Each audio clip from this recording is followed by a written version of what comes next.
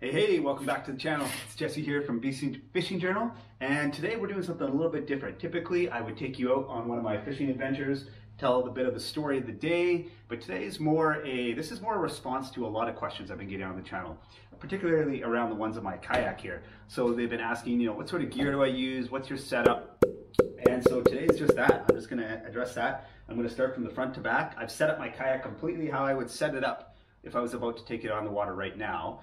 And uh, so I'm just going to walk you through it. Now, I'm not going to go through in this video all like, you know, my rod, my reel, those type of things. I'm just going to go through the, the kind of the main things of the kayak. And additionally, I want to share how much things cost. So each accessory, everything on here, I'm going to outline the cost in Canadian, which I've spent in Canadian. You've been watching this channel and you want to know how my setup is, this is the video for you. Stick around. All right, here we go. So first things first, this is a Old Town Salty PDL 120 and basically that is a 12 foot kind of a pedal drive kayak. So I pedal there, it's you can see down here, that's how it gets me moving here. So there's no electric motor or anything like that when I'm cruising along. It's all uh, my powered by my own legs here. So. And I have nicknamed her or called her the Hokey Dinah and so if you've watched any of my videos, you've often heard me yelling, Hokey Dinah. This is a big fish. Hokey Dinah. Hokey Dinah. I can't believe that. Shoot, yes. It is a salmon. Hokey Dinah. I've had some people comment, ask like, what does that even mean? So um, it's just a funny phrase that I've always, I've heard my grandfather say, my dad say, and now I often say whenever I'm excited or in a lot of different things. So anyway, she is the Hokey Dinah. All right. Okay, starting from the very front of the bow of the boat here, we have a little uh, Pelican, um, just a simple kayak handle here. So this is just attached. This um, I bought. The reason why I buy this is when I'm pulling this up, you know, on some really steep rocks or you know anything, any beach or even just a steep ramp for that matter. It's kind of awkward to pull up like this. I'd rather have the angle my angle of my wrist like this and then pull it, it's easier to get a little more torque. So I, I bought this so I could just do that. So here, there's no storage. I rarely use this. Uh, this is just, yeah, I don't even, I barely, I don't have any, any use for this right now. So one of the most important things uh, on a kayak is the track. Now I've replaced my track. So this is a aluminum uh, custom made one by Pacific Yak Angler, and that's local. These guys are local here on the island, and they make these for um, these Old Town kayaks. And this has been a game changer. I this has been one of the best uh, things to add to my kayak. Really, just for solidifying all my accessories. All my accessories. It's made them way better. But yeah, so I got them on both sides. So here are the plastic ones that initially came here. I took these off, and the reason being was, you can see I can I can bend those. So you can imagine if you have some weight, like a, you know, something like your downrigger or something that has some serious torque. After a while, these things they they start to bend a little bit, and there's even, um, you can see I don't know if you can see that, but there's a there's some damage to it, and that's just from the inside. So these these gunnels, I'll take this off here. This is a Scotty gunnel mount, and this is what I've been using to hold my uh, my downrigger. So it just pops in like that. Now, I love that there is a downrigger that just can pop in really simply, but this thing sits in here in these tracks. And these, these little square bolts, or rectangle bolts, I forget what they're called, that's what kind of holds it in there. So after on these on this plastic, and once, once it starts wearing like this, I've noticed that this gets really torn up. So you can see that that's what happens there. There's that little bit of damage and then they, I've actually had these things pop right off. And so I actually was not happy with this because look at this thing versus let me get another one here while I'm talking. Now I'm going to take off this uh, Yak Attack one over here too. This is the one that was holding my rod holder. I'm just going to twist these loosen them up. I can slide them out of there. Okay so look at the difference of the bolts the T-bolts here. I'm going to put on this table here for look at the difference I think if you can't see that, look at how thick these ones are, and look how thin these are. So the reason why I mention that is that these are perfectly in line with the track, and there's no way they're coming off and getting loose like that. There's no way. They just physically can't do it because there's not the space. Like they cannot come out of that, that track line there. But these ones can. And so they, they've popped right out. Sometimes if they're not perfectly uh, perpendicular to the the track line, some sort of curved a little bit, they can pop out of there. And I've had that actually happen. I've lost gear. That happened to me one time. So. Oh, jeez. Oh, no. No, well, I just lost my. Wow, I just lost my whole kin rod holder. That's a. That's a. Wow. Okay, well, that's a shame. A good start to the day out there. Just lost my rod holder. Just popped right off the thing, the clip and everything. But anyway, that's why I like these ones better. There's a bunch of different manufacturers that do it. Navarre has one now. It's like a universal one. Um, there, this is again, this is the Yak Attack one, and I really like this one personally, and also because of the extra quick clip that comes with this. So anyway, Scotty, I love Scotty stuff. I got a bunch of their stuff. Obviously, it's really great. But their uh, gunnel, I think you need a bigger. They need bigger brackets. That's just my two cents. Anyway, okay, I talked a lot about that. So I pulled off. Uh, what did I pull off here? So I pulled off. Uh, this is my uh, downrigger. This is. I'm going to say the downrigger is okay. I, I think I, I think I'm going to look at some other options in the future, but it does the trick. It's okay. When it's, it's a lot. It's not easy to kind of torque and manage the line. You kind of have to do two things at once a little bit with this. Uh, you're playing with you know you're playing with this screw a lot, loosening and tightening it, and then uh, you know it's just finding the right balance. One, two, three, four. I run a five pound cannonball on on that guy. One thing on these lake trollers is they come with a cable, and uh, I forget how many feet it comes with, like 100 feet or something like that, of this thick cable wire. And I really, really don't like it. It hums. It uh, it has more drag in the water, and so what most people are typically doing is swapping out the cable and putting on a braided line. So you can see that line there. This is a 200 pound, or I put quite a bit on there anyway, more than I would ever need to use. So yeah, highly recommend. If you're going to use that downrigger, get rid of the cable right away. Okay, so we got those. Now, what else we got here? Okay, so here's my uh, Yak Attack. This is just uh, my camera boom, as you can see. So this is the Panfish Pro Camera Mount. If you if you're doing any filming or uh, photography on your camera, like you can you can spin this around however you want to do it. You can lift it up, forward, down. So you can you can twist this guy too, and so that can you can change your camera angle like there. So it's completely maneuverable uh, wherever I want to put the camera, which is pretty nice actually. So this is a very nice, nice thing. This is just a little, you know, base, little my track base here. Get out of there. There it is. So you can see that that T-bolt there again. Okay, let's keep moving. Okay, so I pulled off that uh, track base, and this is the, uh, I had a rod holder here. So this is the, what is this called? This is the Zooka 2. It's like a bazooka. It kind of looks like a bazooka. But it's, again, this is from Yak Attack. There's an 8-inch um, arm extender there as well. And this has been good. So it's got a different sort of entry, so you can turn that around. So depending on if you're running a casting reel or a spinning rod or different types of, you know, reels, uh, this can has it has proper holders like just to store like you know to really lock in your your reel into the holder. So I really like this one. I thought it's been really good for what I'm using it for. So very happy with that. So I'll put that one down there. And the last thing on my gear tracks, so again, the last thing on the gear tracks is my electronics. So this is a Garmin 4 Striker. Actually, this is the new, um, this is the uh, Vivid one. So this is the step up. So it's a little bit bigger. This is a Scotty Universal fish finder. So it just connects right on there with a screw. And then on top of this is, I don't know if you can see this, but there is a, the way it's mounted. I'm to take it off actually. I screw this off. This is kind of a cool one-stop shop. It does the fish finder and it also has this connector to hold my uh, transducer, which is awesome. So I can pull it up and down. I can adjust my transducer however I need to. A lot of people put their transducers underneath, but because I'm, again, because I'm doing car topping, it's always on top. I just didn't want to damage the transducer. It didn't make sense to put it under there because it's going to take a lot of wear and tear and hit. It might even damage it. So um, plus it's less wiring. So I, I can just put it all right here. And so this just pops off with, again, let's just slide this down. Okay, so you can see there again, there's the T-bolt. The Garmin 4 uh, is an awesome fish finder, by the way. If you're just starting off, for the price point and what you're getting, awesome. Oh, there's a lot of salmon here. Look at this. Okay, that's good marks here, guys.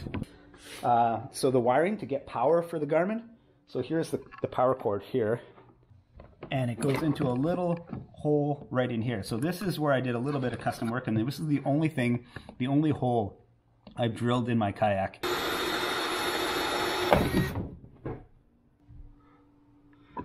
Beautiful. So this is a, uh, a Hobie through hull uh, cord. This is just a little setup where it has this little clamp, uh, little seal, little rubber seal here.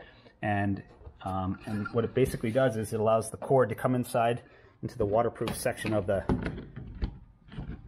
kayak. So if I pull off this guy, and the wiring comes through here. So here's the power. So there it is. So it connects the two. So there's the wiring right there. And since I'm here right now, maybe I'll just outline. So that little strip, I don't know how well you can see that. I saw this on another YouTube video. Um, he put some heavy duty Velcro. So this is some just some Velcro there. And what I've done is, I'm just to grab my, here's my battery.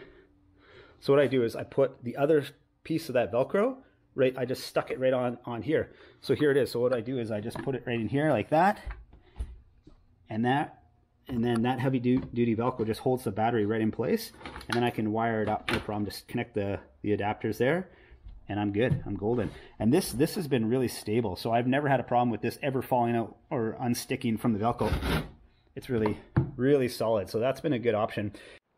Coming back to the battery here this Dakota lithium battery 12 volt uh, 10 amp has been amazing. This is such a good battery um, this lasts me at least two trips, so um, it's been fantastic. So I usually charge it after the second trip, and that's so I'm thinking like eight to twelve hours um, of of usage, and I haven't really maxed it out. And this is the, the the charger that you can buy separately, and I actually highly recommend this. This just makes it really simple. It's a Dakota lithium charger. It's meant for this.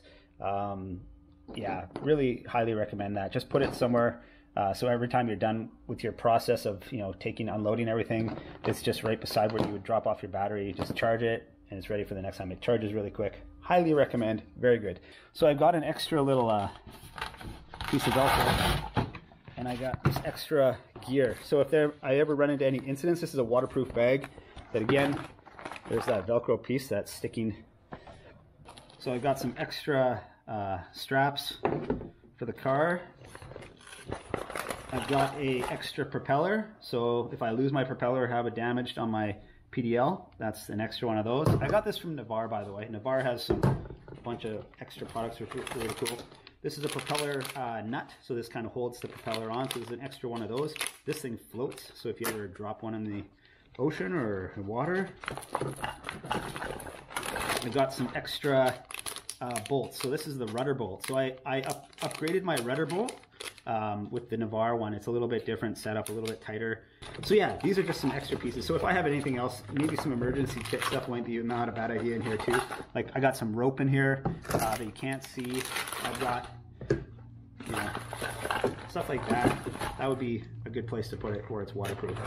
Okay, just a few things. So this is, as I've mentioned, this is the PDL. So this is what drives and propels my uh, my boat. Now this isn't the these aren't the pedals that come with it.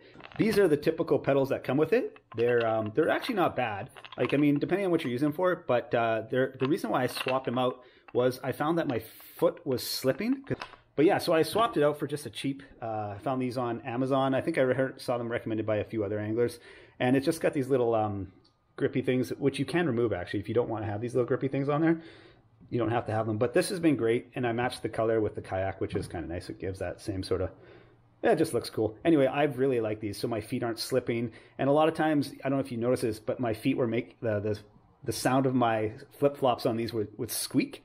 And so, if for as a as a YouTuber, you hear this squeak, squeak, squeak, and it's just kind of irritating if you're watching a, a video and this guy every time he's paddling, it's like anyway. I was like, okay, I'm getting rid of those.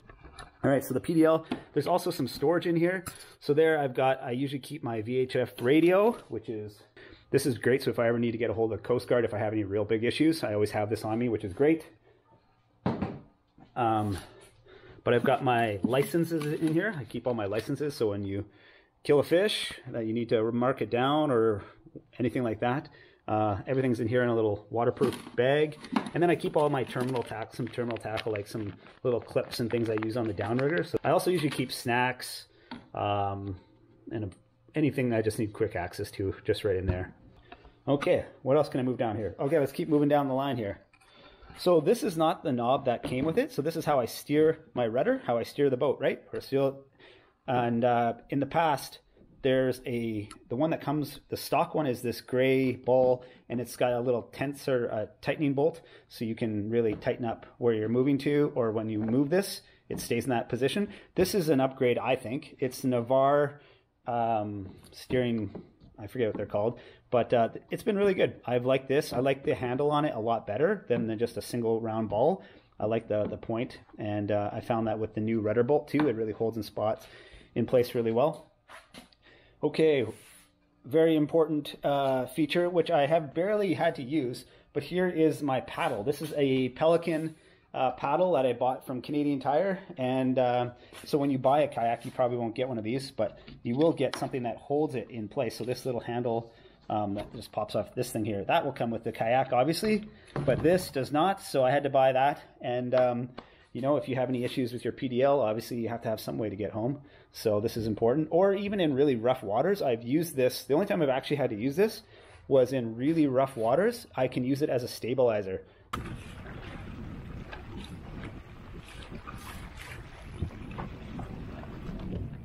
So, uh, you know, just touching down, eh, you know, while I'm pedaling home, it's uh, not a bad option.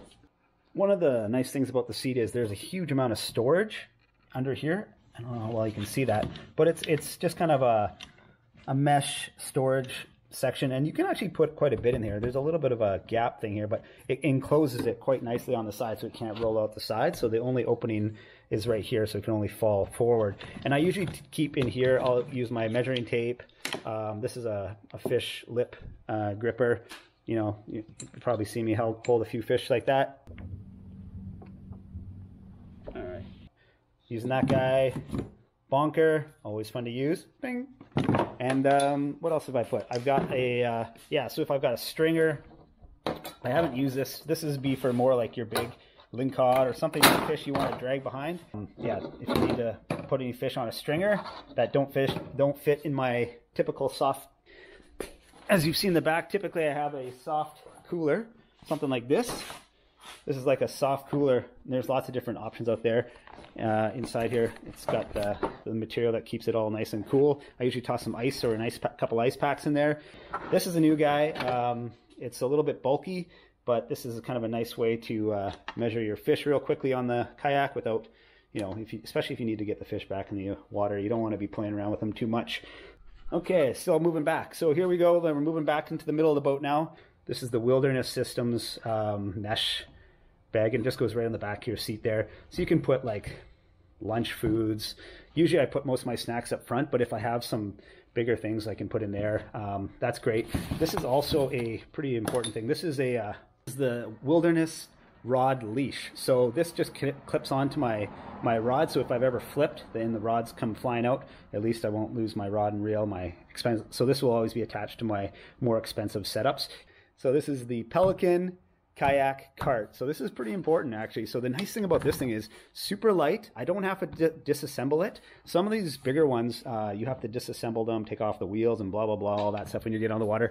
Um, the nice thing about this too is actually if I slide this back, is this these little uh, holes in the in the kayak here allows the water to drain out these drain holes these actually this can just fit right in there so it kind of holds it um, in, in place, which is awesome. So this is what it looks like.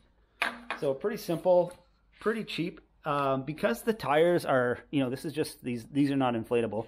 They're, um, they can be not great on if you're going over big rocks or if you're, if you got some gnarly, you know, trailering needs or if you to get down to the water, it's pretty tough. All in all, I'm actually really happy with that, especially for the price point. I've been very, very happy. And the the best thing I like about this again is just how it transports while I'm on the water. When I'm taking this on the water, it doesn't. It's it's a little bit better. Here's an example of one that's a little a little bit more work. So here's a. This is a very nice, beautiful Uh, beautiful trailering one, but look at so if I got to go over with anything, this is these are inflatable wheels. If I need to go, um, you know, over some gnarly terrain and I had to tow it over that, this is the this is the one. But then you have to disassemble this, and then you know put that into your into your uh, back of your kayak while you're, you know, it's just a lot of work and a lot of space. So I'm looking for this the lightest, uh, smallest thing. So I'm pretty happy about that.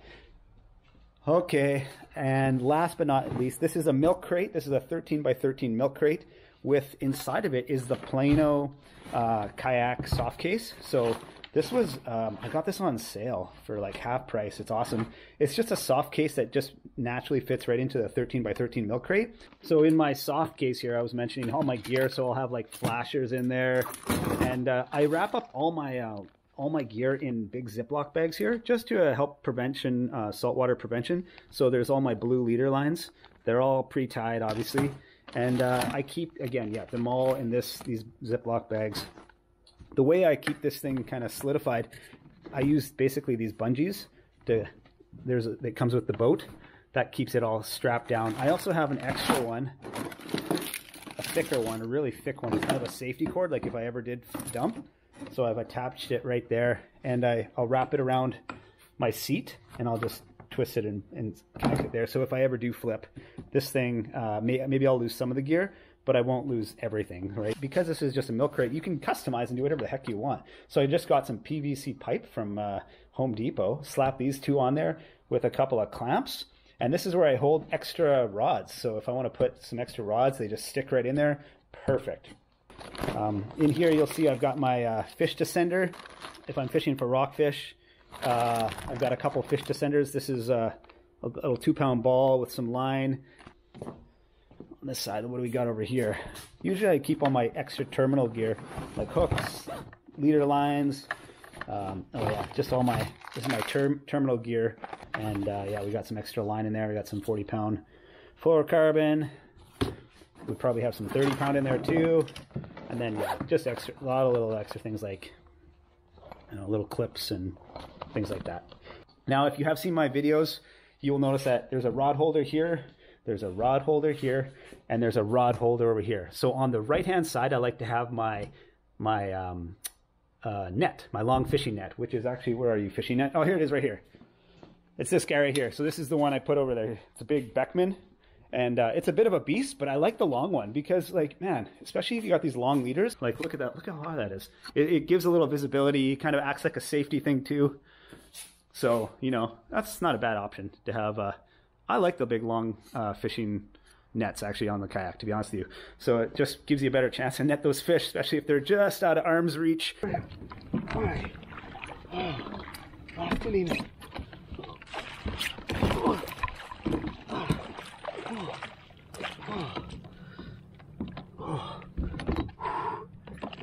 So, you know, a down like a bottom fishing rod and a trolling rod. And I can be swapping back and forth. That's usually what I do. And if I have a few extra rods there than that, then I'll just put them back in here. Okay, just quickly over here. Just some plastic uh, straps that I use to strap my kayak onto my um, my car. Basically, I just use two, front, and the back. It's it's been pretty easy to. I haven't had any issues with it sliding. My my I think this kayak has been perfect for that. Um, here's my PFD. This is the Chinook by NRS. It's an awesome, awesome. Um, highly recommend uh, something like this. They, this is the older model, so I got this on on sale. Um, but they're not that expensive. I got a little, um, you know, a safety knife here. If I have any issues, I get wrapped up in some line or anything uh, I need to cut right away. This is super, uh, super great little blade. He just pops right out, and you got a blade right away. So that's important. So that's on your PFD. I've got my uh, pliers now attached, as you have seen. Sometimes I forget to attach, reattach those pliers. This is a really good one. This might be it. Oh shoot, no, pliers. No! Oh! So yeah, these these PFDs are really great. They're they're they're comfortable to use. They got a lot of extra. I put my my phone in in here. It's a nice thing to put your phone while you're you know you're fishing. It can just use a hook file I got a knife to bleed the fish in here. Little detail, little things like that, like even things to wipe the camera. It's all just, it's lots of pockets, so it's it's a great thing to have. The PFD is awesome, so very happy with that. I would say invest in a good one of these and make sure it feels comfortable for you too. So this one I really like um, comfort wise. So very happy with that. So, all right. Well, I think that's about it. Now, yeah, guys, thank you so much for uh, sticking around here and watching this. And again, if you have any other feedback or any other questions around my gear, by all means, send them my way. Ask me a question. Uh, if you want to email me, it's jesse at bcfishingjournal.com. Happy to respond to any emails that way too. If you don't want to put it in the public comments, no worries. So, uh, yeah, appreciate you guys. Thanks so much for coming and sticking around and hanging out with me. I hope this video has been informative or interesting in some way for you guys. We'll see you in the next one.